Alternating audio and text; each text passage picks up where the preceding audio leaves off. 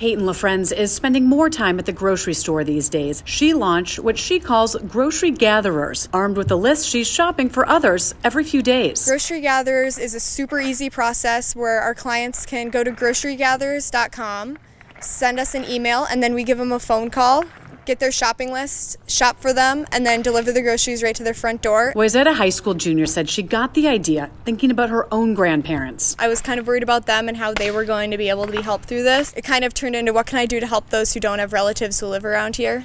To do shopping for them. The free service offers assistance to the most vulnerable to COVID 19 people over 70 and those with compromised immune systems. They leave the groceries on the doorstep, so there's no face to face contact. It just feels really good to be able to help out the community in a time of crisis like this one.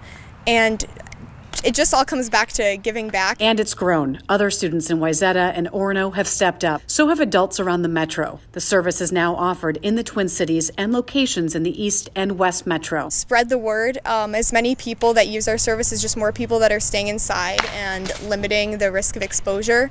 So please reach out to us and use our service. We'd love to be able to help you. In Wayzata, Jennifer Mayerle, WCCO 4 News.